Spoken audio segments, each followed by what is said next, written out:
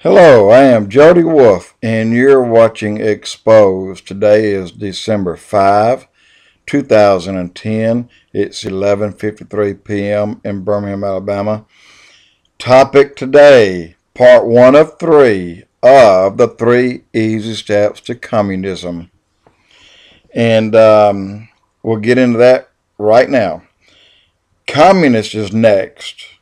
And when I say next, that means you have to leave the capitalist view and position and enter into the socialist realm. And uh, the next step is communist. So we're in a transition period right now from the capitalist to the socialist, whether you know it or not.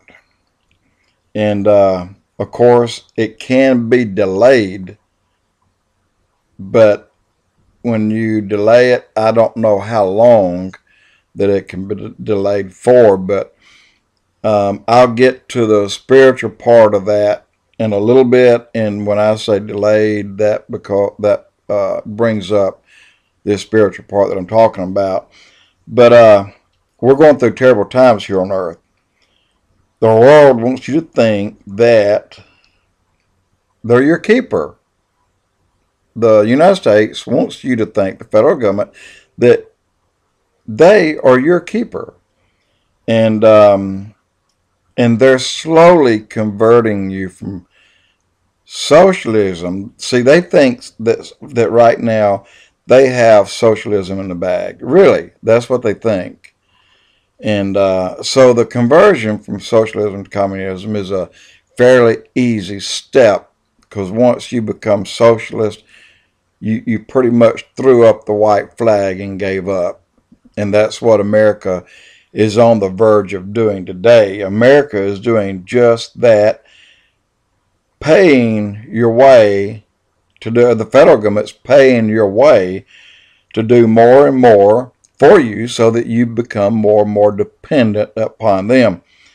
And um, that's not a good place to be in because your defenses drop rapidly when someone else is paying your bills. And uh, anyway, you're viewing them as a security blanket, and you, my friend, are just where they want you to be. They want you to view them as your security blanket. And uh, so when you start doing that, you're no longer capitalist. You are socialist. When you have a dependency upon your government, rather than getting out working for a living, when you depend on government to pay your bills, or where it becomes easier for you not to work and collect three or four or five hundred a week when you can work a full-time job and, and take home only half that. I'd rather shovel ditches at a dollar an hour than take a handout from the U.S. government, period. And um, then look at the next step when you when you go from capitalist to socialist, when America owns you, they decide for you your job, your pay, of course, your health insurance, and that has started. The amount of power that you're using your home, they'll control your light switch. Um, the car you will drive, what you will watch on TV, because that'll be closely monitored and regulated and uh, what you listen to on the radio the same monitored and regulated. Internet will be completely controlled by the government. And uh, so these things are the things that that moves you from the position of being socialist to communist.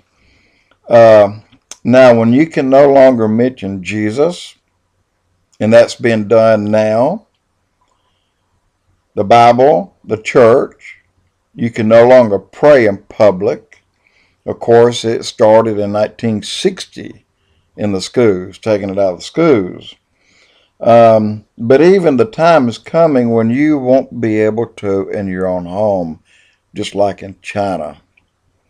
They catch you praying in your own home because they have, and, and let me say this, of the socialist agenda and the communist agenda, they have neighbor pitted against neighbor.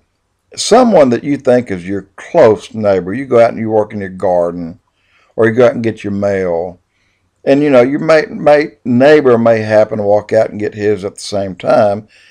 And you know this guy you've known for a long, long time, and you may mention, "Hey, we uh, we had a little prayer supper last night. You ought to come next time."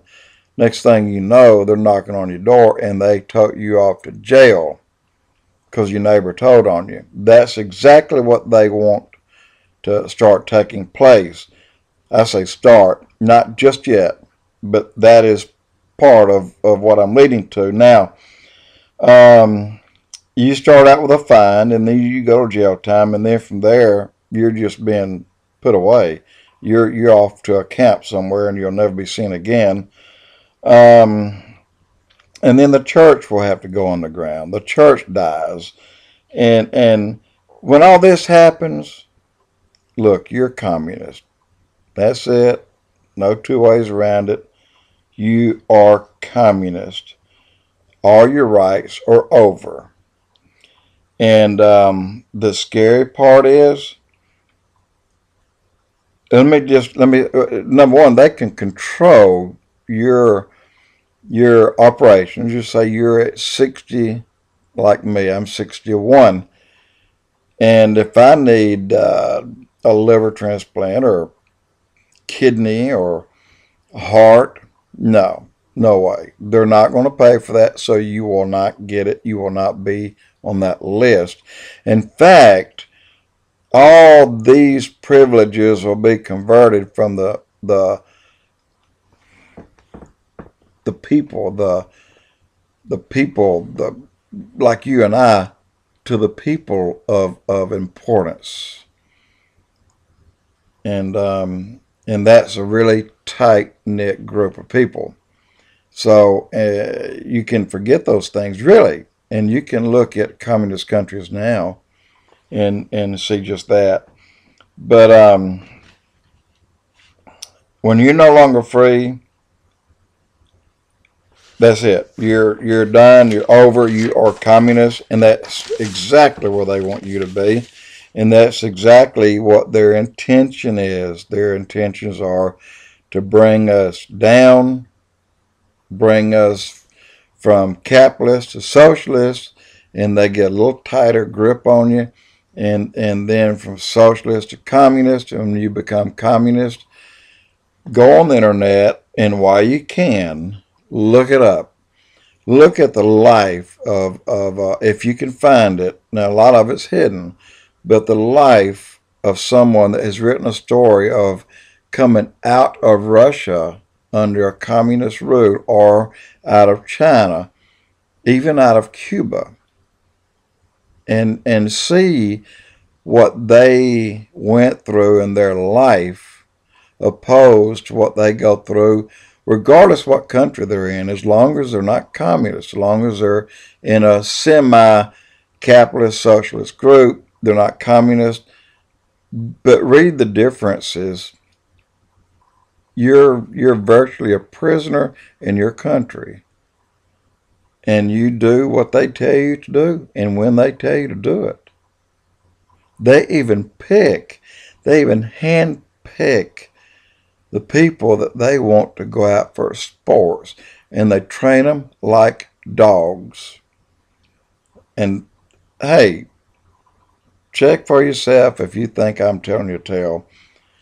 But um, that's the truth. Um, now, with that said, let's talk a little bit about what America went through to become America. And I will not do that now. I will ease on to part two and tell you what America had to go through to be America.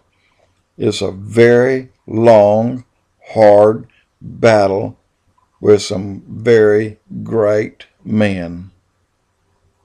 You'll not want to miss part two. Jody Wolfe, Expose.